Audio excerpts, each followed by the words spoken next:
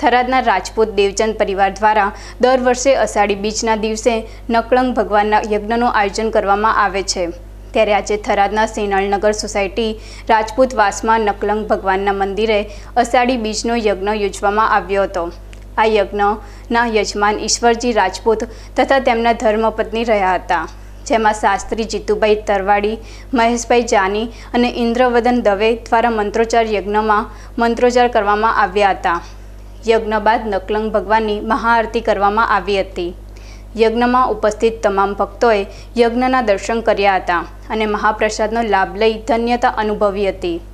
આ યજ્ઞમાં થરાદ નગરપાલિકાના ઉપપ્રમુખ, પૂર્વ પ્રમુખ પથુસિંહ રાજપૂત હાજર રહ્યા હતા અને યજ્ઞના દર્શન પણ કર્યા હતા. જો કે આ યજ્ઞ છેલ્લા પચીસ વર્ષથી મફતલાલ રાજપૂત અને તેમના ધર્મપત્ની દ્વારા યોજવામાં આવે છે.